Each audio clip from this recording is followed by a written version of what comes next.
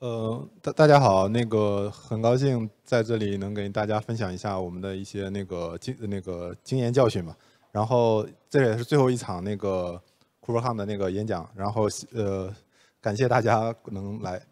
呃，今天我们主要介绍的这个主题就是如何让 Pod 的这个启动速度能够呃更快，尤其是在一些大规模的集群里面。呃。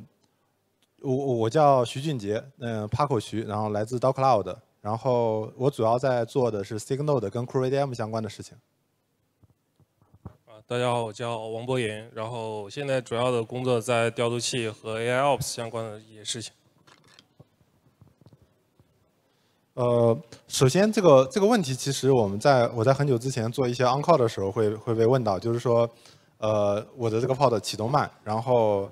怎怎么办？然后我当时就在想这个，一直在想这个问题，就是为什么这个 pod 启动是很重要的。其实，呃，我觉得这个简单来说，就是你一个好的开始是一个成功的一半。呃，现实中也是这样子，就在你的 pod，它很多的问题可能都是在它启动的这个短的这个周期内的一个问题。呃，而它后面稳定运行以后，其实它的问题就不会太多了，包括 Kubernetes，包括其他的各个组件的配合的东西就会。其实就少很多。其实这个启动这个过程还是非常值得大家去深入研究的。呃，那么怎么来做呢？就是我之前把这个问题抛到了那个 Reddit 上，然后就就有一个人上来就回答了我一个这个这个方法，就是说把你的那个 Redis probe 删掉，那你的那个 Reddit 的速度就会比以前快很多。然 后然后。这个是有点搞笑的方法，然后下面的人就开始更夸张了，就是说，那我是不是可以编辑一下我的启动时间呢？直接，那肯定是不行嘛。然后下面那个人更离谱，说，那我能不能编辑一下我的工资呢？作为云原生开发工程师，我们如果能自定义自己的工资，可能是大家的理想吧。然呃，然后话归正传，就是，呃，那其实这个问题是有一点不严谨的，就是说。呃，你怎么启动更快？那首先你快不快？你怎么去判断？这是一个问题。就是说，你多快算是快，或者说你的正常的一个 pod 应该是能启动多久？然后这里呢，我简单列了一下，其实不同的这个 pod 它启动的速度呢，其实是不一样的。呃，这是 ChatGPT 给我的一个答案。我仔细看了一下，其实感觉比我想的还要好一点。就是，其实就是你有一些轻量级的 pod，它启动速度可能在五十毫秒以内。但是其实到了一些就是比较重的，然后需要很多 resource 的，然后还有还是很大的那种镜像的，还有一些就是这种网络的问题的，它的启动速度可能就不会那么快了，可能会到分钟级。呃，当然大部分的 pod 其实我个人认为应该是在秒级，就是呃或者是毫秒级，这个是应该一个比较正常的范围内。呃，如果你 resource 比较多，可能也尽量不能超过一分钟吧。就通常来说，可能这是一个。一个就是 common 的一个状态下，呃，今天我们的主题分享呢，其实是分了这么几个模块然后就是 pod 的创建它的速度，它的调度的情况，还有它的那个在节点上启动的情况，最后是一个怎么去观测它的这个过程，然后呃有一些可观的性的东西。这里重点呢，我们会在调度和那个节点启动这这两个模块呃，首先呢，就是 pod pod 启动，其实。呃，你的 pod 首先你要知道它是从哪里创建的，是一个 controller 创建的，还是一个 operator 创建的，还是一个其他的什么，比如比如静呃 static pod 或者是是什么去创建的？那这个创建过程呢，它其实是要去 API server 去呃有一个操操作的，除了那个 static pod。然后那 API server 的速度就决定了你的这个 pod 的这个创建的速度。那这个问题其实也是一个大家比较常见的，就是你的 etcd 的速度，你的你的 etcd 的 load。然后还有你的那个 API server 这边的一个 rate limit 是不是达到？然后这几个其实相对来说可能更多的需要你去调优 API server 和 etcd，还包括这个磁盘。但是呃还有一个问题就是那个 webhook，其实有些 webhook 它确实比较慢，会严重影响你的这个创建速度。这个是我们可能需要避免的。另外一个点就是刚才提到的这个 controller 和 operator，它在创建这个 pod，它可能会有一个重试的机制在里面。所以有可能是因为你的前面会有一些创建错误，或者是呃 validation 的一些 failure，导致了你的这个最终的启动速度变慢。然后这里其实提到了呃 webhook，然后 validation，然后包括你的 resource 呃 resource 的 quota 这些东西有没有达到？你的 namespace 的 quota，你的这个整个资源池的一个大小。呃，其实这里的话，如果真的你想去做一些呃强制的加速，那你只能用这种抢占式的调度或者是一些其他的方案来去做。所以这块儿可能更多的一个是你 API server 跟 EDCD 的这个性能问题，另外一个是你的 webhook 这块的一个控制。呃，下面主呃介绍一下那个调度。呃，调度其实呃这里是先讲一下，就是一个简单的一个调度场景或者一个常规的一个调度器，它它需要去做的事情，就是如果你的 pod 是没有指定 node 的话，那它就会通过这个调度器来去做一个调度。然后这里面其实呃比较常见的一个是规模问题，一个是你的失败问题，就是你的 retry 调度里面它其实是有这种 retry 的能力的。所以你看到它调度慢，不一定是调度器慢，有可能是你的调度的那个条件没有达到。呃，这时候你要去找这些失败的原因。还有就是你的资源呃那个节点比较多的情况下，调度器可能在有一些情况下，它在计算或者什么的会会比较慢。另外就是你的呃你是不是加了一些合适的这个 node affinity，然后来帮助它调度的更快和更准确，这也是很重要的。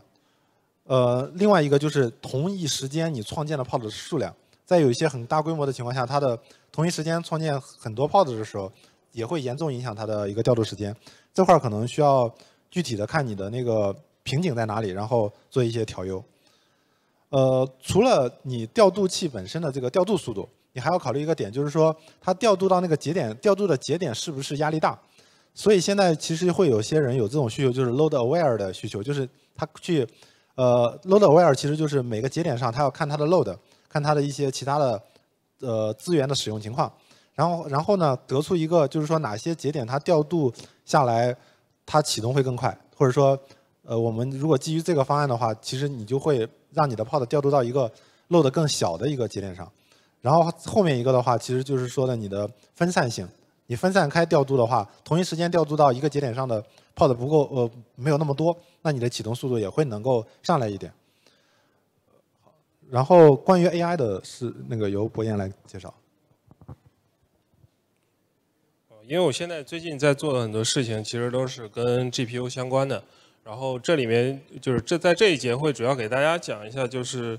呃，在我如果一个 pod 在申请一个设备或者申请一个 GPU 的时候，它大概的一个流程，或者是我们要添哪些东西在一个 YAML 里面。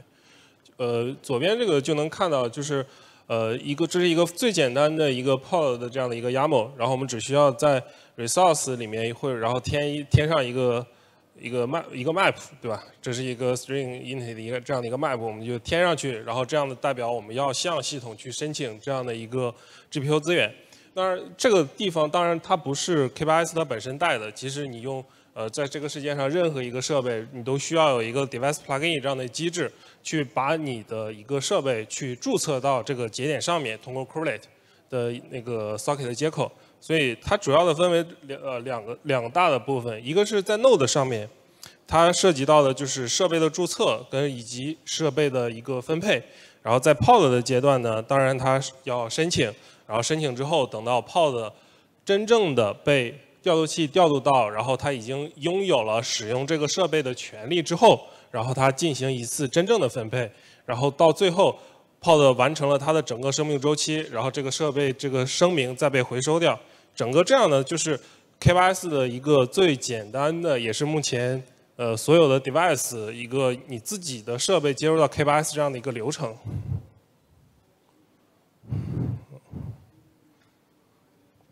然后，但是因为 device plugin 的接口是非常非常早的，它是1.8版本就有的，而且这个接口呃一直到现在都没有变化，它其实是存在这些问题的。因为 K8s 本身呢。它也不是为一个 Ego 的一个资源设计的这样的一个编排系统，它更多的还是考虑的是 CPU、Memory 跟硬盘这样的一些资源。就是这里面的最带来的最明显的问题，一个呃，首先第一个就是如果我的设备。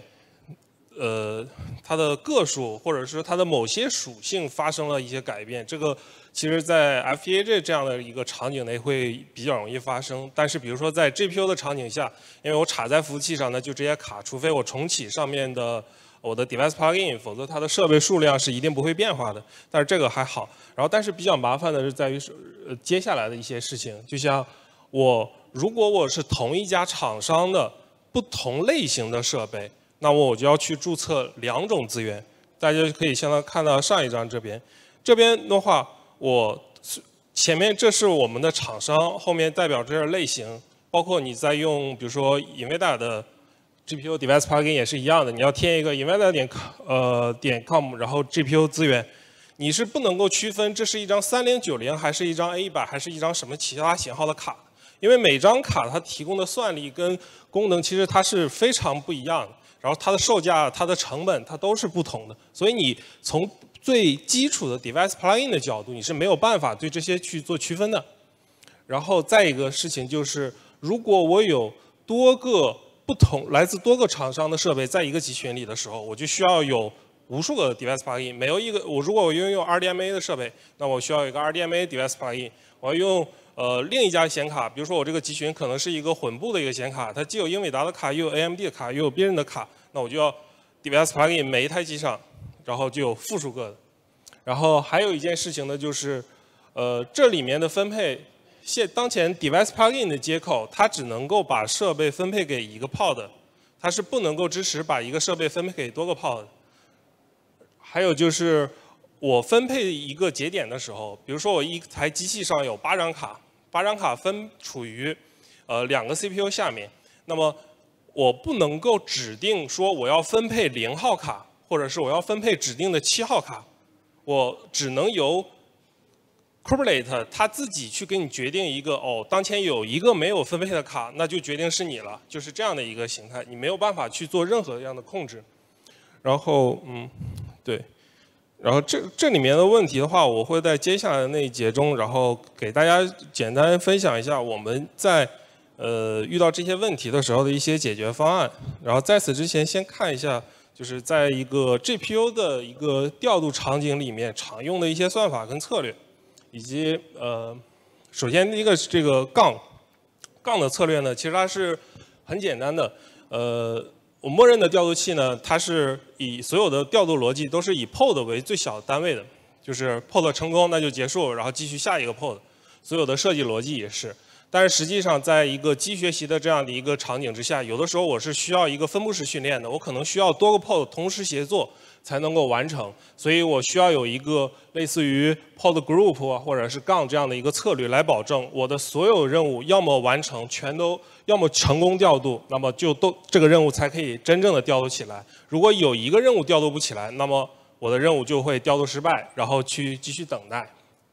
然后第二个这边就是 SKU，其实这个 SKU 呃描述的不是特别精准，但是我没有一直没有给它。想到一个很好的名字，它强调的是一个是按比例分配。比如说我我的物理机上面的配置，它的 CPU、Memory、GPU 这样的，它们是存在一定的比例关系的。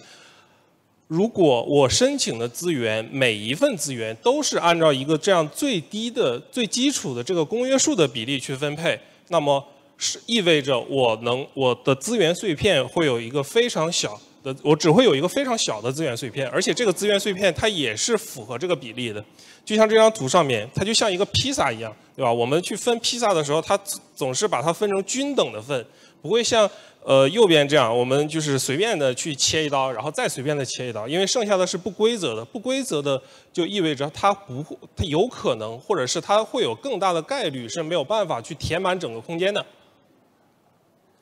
然后。呃，对，这这样的话呢，其实，在 CPU 跟比如在我们纯呃 CPU 的这种场景下，其实还好，呃 CPU 嘛，对吧？呃，本身就是分片的，即使浪费一点也不重要。但是，其实在一个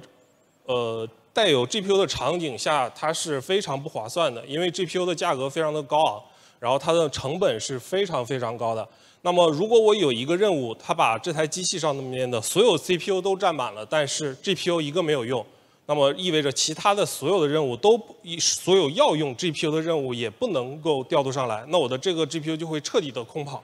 就是没一个造成一个非常大的一个浪费。然后呃，接下来是就是 Binpack，Binpack 它这个调度算法其实原理上也非常简单，就是它会尽可能的填满整这个尽可能的填满机器，而不是将它分散在不同的节点上。其实，呃，这个和 SQL 这样的想法其实都是一致的，就是我要尽可能的把资源利用满，然后不要让资源去有大量的空余，尤其是不要让 GPU 有空余。然后，然后是那个呃，对 D R F DRF，DRF 就是呃 Dominant Resource 呃 Fairness，它是一种最大化、最小公平算法。它能够保证说，我在集群里面的每一个用户，他都是尽可能的公平的拥有一份最小的资源。我尽可能的保证每一个用户相对公平。然后就呃，实际上换到实际的实现呢，有就是一种最简单的一种基础实现，就是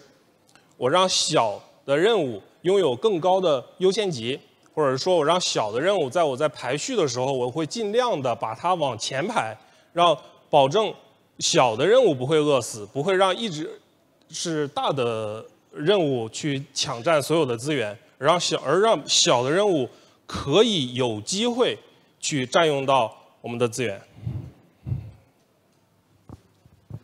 嗯，好的。刚才我们其实介绍的是调度这块儿，可能刚才那个 DRA 后面在 Node 启动这块儿还会有继续的那个介绍。呃，然后是在节点上启动一个 Node，其实。这个过程是比较复杂的，可能这张图比较那个不太清晰，可能后面可以我再传到哪里。呃，它其实讲的是一个 pod 的创建，然后这边是创建流程，这边是它的 webhook，这边是它的 pending 的调度，然后到它的 running，然后下面是它的这个 probe 的情况，就 start up probe 跟它的 readiness 跟嗯 liveness 的 probe，包括你还可以在这个过程里面去 exec，还有它有会有一个呃。post 呃 post start 跟那个 pre stop 的一个 hook，呃，此外的话，除了那个我们的在创建过程中有个 sandbox，sandbox 呢会有一个 CI 的准备，然后后面会有一个 init container，当然这个 sidecar 的变化，这个其实我还没有去修改，然后是这个它的主要的 container 和它的一个 sidecar container，还包括一些临时容器，这是它的一个整个的一个生命周期和它的一个状态变化。呃，其实我们在看它的一个启动过程的时候，其实也是从这个整个流程里面去想，哪里哪里是它的瓶颈点，哪去哪里去优化。呃，首先呢，我举一个简单例子，就比如说你现在遇到了一个一个问题，就是你的启动速度比较慢。那么，怎么样简单的去理解这个问题呢？其实它的最主要的四个步骤就是拉镜像，呃，CNI 的这个 Sandbox 启动，然后它的 Volume 的 Mount，然后最后它的主要的一个进程的启动。呃，所以其实从这个角度的话，那我再去定位问题的时候，我可以尝试，比如说先把镜像拉好，那我的启动速度变快了，那可能瓶颈就在这个铺镜像的这个过程。然后我可以尝试把 host network 配起来，那这样子如果它变快了，那可能 CNI 这块是不是存在一些问题？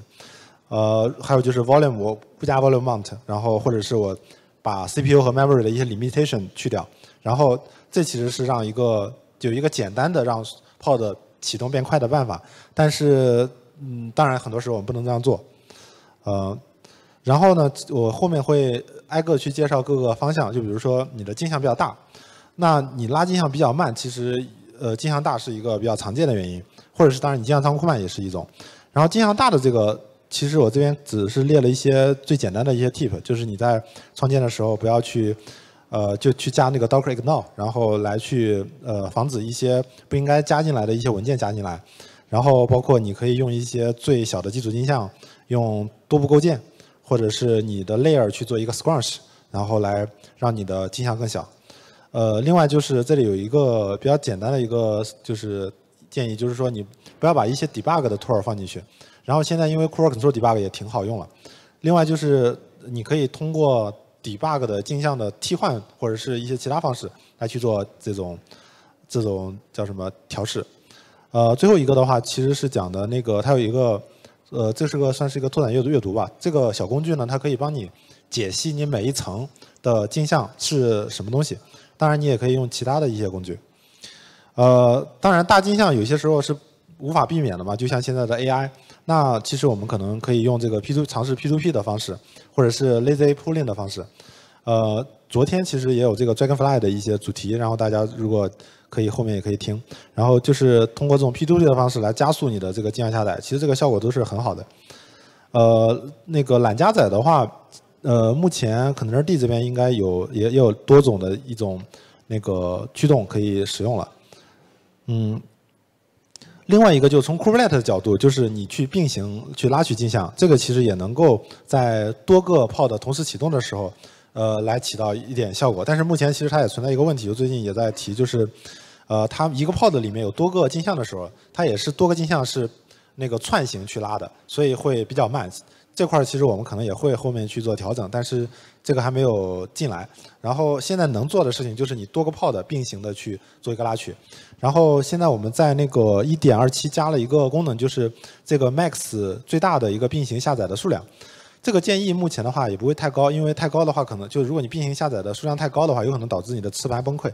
这块的话会不太好，就是会就造成造成事故了嘛，那就不太好了。然后。呃，这块儿可能刚才提到那个 P2P 里面，昨天也请教了一下那个 Dragonfly 的 maintainer，他们其实，在 Dragonfly 里面它会有一个限速，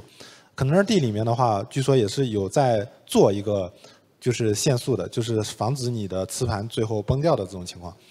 呃，所以这块儿可能会越来越好。呃，另外一个就是你的 init container，你你现在的 pod 里面有没有这种 init container？init container 的话，它其实呃，我目前觉得就是很多时候你可能。要把一些很必要的事情放在里面，或者是让这些事情如果能并发的话就并发去做，因为现在的话它可能串行去做的话，这个效果就会差很多，而且它是在你的主容器启动之前去运行完之后才会启动你的主容器，所以其实你要想一下，就是说，呃，在这个。Init container 里面做的事情能不能放到镜像构建里面去做到，或者是能不能放到一个 demon set 里面去把它在节点上就做掉了，这样子就能节省出来这部分时间。或者刚才这里提到的这个 post start hook 可以在你主进程启动的同时去启动，然后只是在 start 之后启动，是不是能够满足你的需求？这也是能够提升你的启动速度的一个方法。呃，最近的那个 VPA 它合进去以后，其实 VPA 这块的应用场景还是挺多的。其中一个比较重要的场景就是，我之前也遇到过，就是 Java 它有一个比如说0.5核的限制，那在0.5核的情况下，它的启动速度会超级的慢，所以呢，就会有人有人提出用 VPA 的这种方案，就是我在启动的时候给它配置两两 CPU，它的启动就会能够比之前要快很多。然后等到它启动完成了，ready 了，那我就通过那个 VPA 把它修改成零点五核，那这样它就既启动快了，同时它也没有占用更多的资源。嗯，这个方案还是呃将来可能会有更多的一些用用的地方吧。呃，另外一个就是，呃，你想你的 pod 它的启动速度更快，有可能就防止就其实前面一个一场在讲那个隔离的一些东西嘛，其实这里就涉及到一个 CPU 的隔离。那如果你能够做到绑盒的话，静态的一个 CPU 的 policy 的话，其实你也能够呃让你的 pod 启动速度更稳定。嗯，这里列了一下它的一个启动过程，可能需要你去呃重启 Kubernetes 之前要去清理一个文件。嗯，另另外的话，这里还可以提一个注意的点，就是，呃，如果你的容器主容器本身是 guaranteed 的，但是你的 sidecar 不是 guaranteed 的，这时候这个 policy 是不会被适用的，只有你的整个的是，呃，是 guaranteed 的才会被适用。嗯，probe 这块的话，就一个重点吧，就是你的 startup probe 要设置的合理一点，因为它的 pro 呃，它的它到 ready 是要等到它的。那个 readiness 那个去 ready 呃就那个成功一次，而在之前它会等这个 start up，呃如果之前没有 start up 的话，有可能你的 initial delay 的 seconds 也可能会影响你的这个启动时间，但是这个通常可能需要你做一个调调整吧。然后另外一个就是社区里在推的一个事情，就是他们之前因为这个定义比较粗嘛，就是按呃秒来算的，将来可能会按毫秒算，但这个。还在推进中，还没有合进去，就它的设计还没有合进去，所以可能还要比较久。呃，另外一个就是你呃，现在可能也很多人在用这种热迁移快照。呃，其实快照呃，在这个启动过程中呢，有一个小的用处，就是说你如果你你的启动是需要加载很多内存、很多信息，然后启动流程有很多预热的过程，那你其实用这种快照的方式，可以能够提升一点点你的这个启动速度。呃，这个在1.25已经可以做那个打包，然后现在最新的版本里面应该，呃，可能需要借助一点点那个代码的工作才能完全用起来。嗯，其他的一些原因，比如说你现在的 runtime 本身，这个其实呃，目前来说，也就是 Docker 跟 Containerd 的这个切换，或者是一些就是你的呃减小你的这个调动调用链嘛，然后让它启动更快，或者你的 CNI 这块儿，呃，其实大部分 CNI 像是 Calico，它它在节点的那个分配的时候已经是呃在本地独立做了，然后很快，然后但是有些 CNI 它可能涉及到整体的一个规划或者网段规划之类的，可能会有一些呃就会导致它变慢，其实这块也是一个点。嗯，剩下的就是一点二七的这个还是挺重要的。就是如果你还没有升级到一点二七，你的 Kubernetes 默认配置其实是这个 API 的十和 API QPS 是五。呃，在这种情况下，你的节点如果达到比如说几十个 pod 或者是接近一百个 pod 的时候，你的你的那个 pod 启动速度会严重受到影响，因为这个是因为你 Kubernetes 跟 API Server 之间的这个呃访问会受到一个限限制，而在一点二七以后，这个被放大了十倍。所以基本上不会有影响的。所以如果你在老版本遇到一些，比如说 mount timeout 或者一些其他的一些常见错误的话，很可能是这个导致的。呃，另外一个就是我们上午那个 Signal 那边提到的一个 Event 的 P L E G，它也 Event 的 PLEG 其实就也是在刚才说的一个节点上，它管理的 pod 比较多的情况下，呃，它会呃让 Kubernetes 的效率更高。然后同呃这种状态下，你的 pod 的那个 ready 的呃展示出来的这个时间可能就会更快。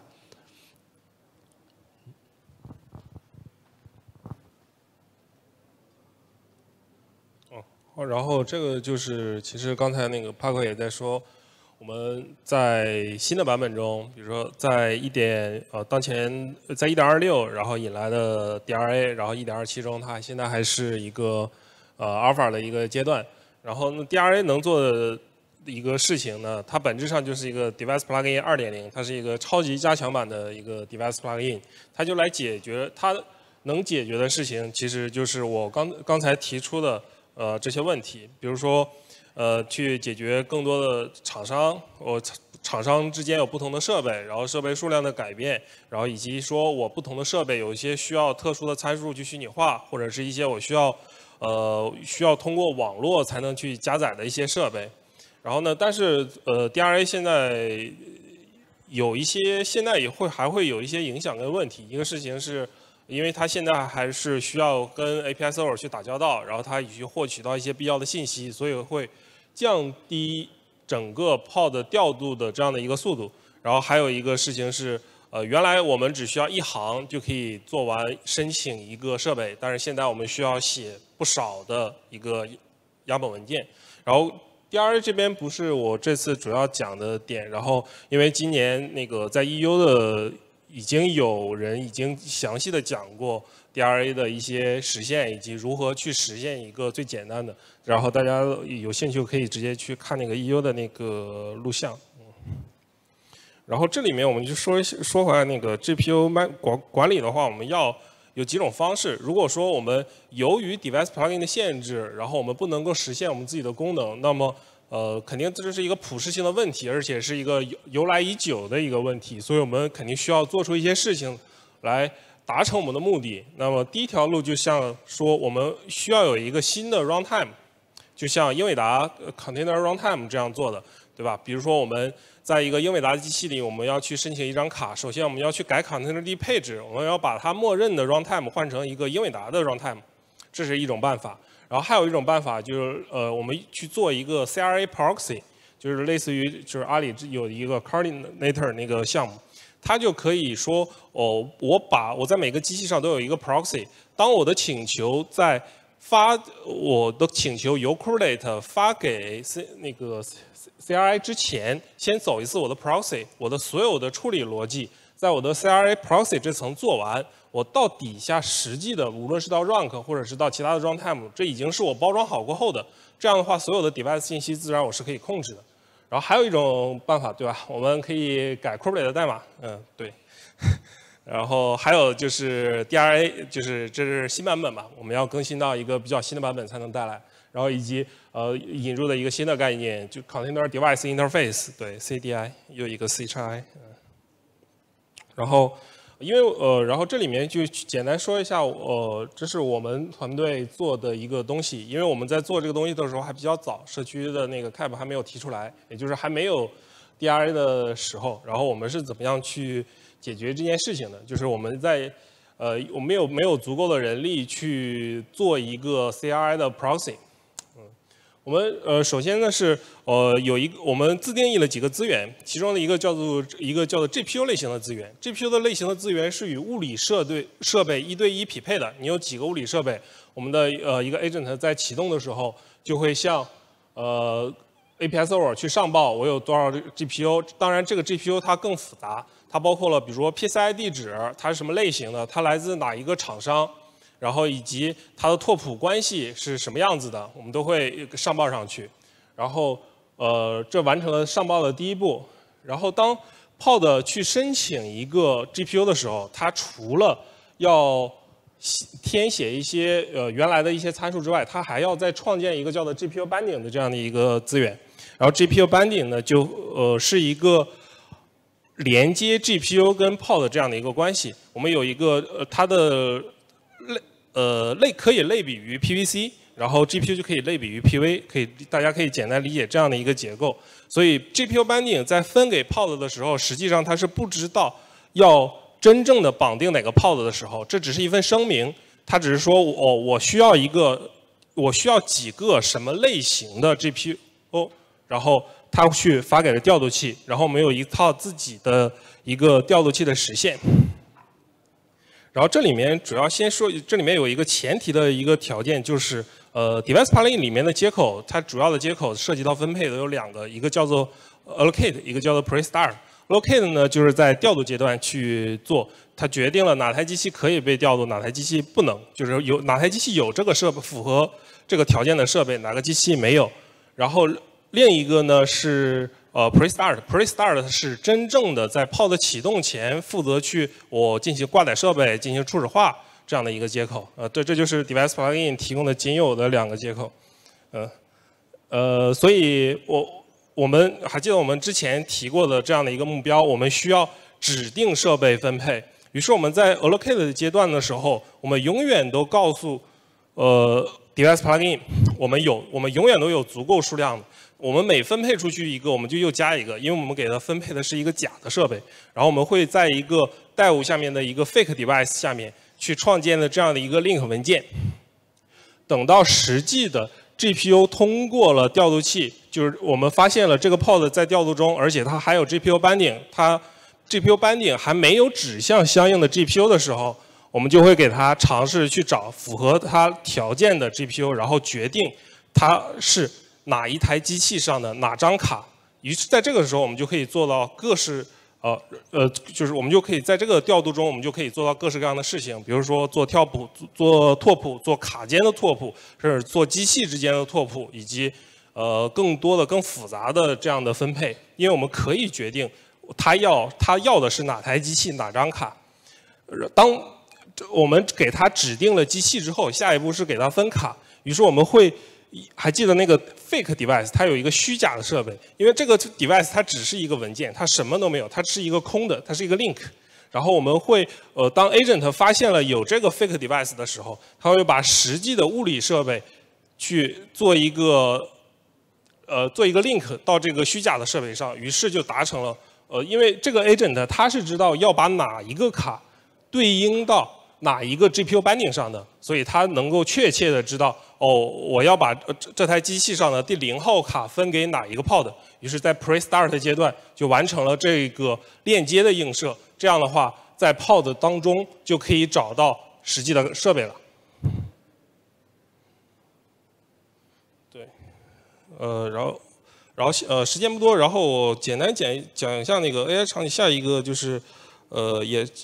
就是如何加速那个数据加载的这样一件事情，因为正常的一个比较理想的一个流程里面，数据是从呃磁盘到内存，再到 GPU 的显存，然后 GPU 去进行计算拿回结果，然后当然再从呃显存考就是 GPU 在显存中做计算的时候，这个时候下一步的由磁盘到内存的呃这个过程应该已经开始了，但是实际的时候。我通常达不到这样的一个效果，因为有的时候一个数据集可能有几 T 甚至更大几十个 T，所以我们去 load 数据的时候就有了一大堆，有一些就是有一个非常长的一个缓冲时间，我们就可以将数据预先的加载到本地的磁盘当中。因为我们在一个分布式集群里面，如果我们又要过分的依赖于一个分布式存储，会给我们的分布式存储带来很大的压力。如果我们想几十个 T 的训练数据都从分布式存储上读，无论是呃效果或者是性能都会比较差。所以我们会把数据先从分布式存储上面先预先的加载到每一台机器上面，然后让这。让这个 pod 去读这个数据的时候，实际上是从本地读的，而不是从他认为的远端存储上读。然后，当然这个数据也是一块一块加载的，以适应我们说的这个整个数据的这样的一个流程。然后这个地方可以同样就是帮助我们缓解对于分布式文件系统的这样的一个压力。同时，磁盘嘛，呃，LPS 会明显的好一点。然后。以及说，呃，我们因为我们的数据集，呃，每次的每台机上跑的训练可能是不一样的，所以我们还会有一个 L 类似于 LRU 这样的一个过程，定期的把不用的数据，然后呃这种数据块从这台机上移走，然后以拉以换取本地的磁盘也不会暴涨。这后面这个可观的性，其实我们这次分享的比较简单，只是涉及到那个，呃，就就说你其实你在可观性这块儿，你可以有很多工具去用，但是那个在 Kubernetes 这边，其实它只提供了一个非常简单的一个日志，就是说你的 pod startup duration，然后里面会提到你哪个 pod，然后它在 create time step 和它的那个 polling 的一些 time step 和 finish polling 的 time step 和以及它看到它 running 的一个时间，所以其实。呃，目前的这个还是比较简单的，但是也能够给你一个概念，就是说你的 pod 启动的几个时间点，重要的时间点，这个是在1.26加进去的。然后最后一个就是说它的 matrix，它会你能看到它的启动的一个直方图，然后你可以看到这里这个15秒其实是有点慢的，就是呃，其实这个概念就是说启动时间在30秒到45秒之间的有一个，就是15减14。这样子就相当于有一个还是启动十五秒还是比较慢的，这时候你通过这个的话，能大概定位出你集群里面是不是存在有些 pod 它启动比较慢。嗯，但是目前这个还比较简单，如果有什么需求的话，其实希望大家能够到社区去提一些 feature request，然后来加强这一部分的一个东西。好，谢谢大家。然后总总体来说的话，我们总总共就是在介绍的是整个启动流程，然后和一些 tip，就是你。提示你哪些地方可能你要需要注意，当然最后你自己的那个炮的启动速度慢，可以通过这些方法来去定位到最终的那个解决方法，可能还是呃需要一些就是进一步的工作的，就包括刚才提到这种 AI 方向的，其实他们还是做了很多工作，才能够让它的启动速度能再加快那么一点点。嗯，对，谢谢大家。有有有什么问题吗？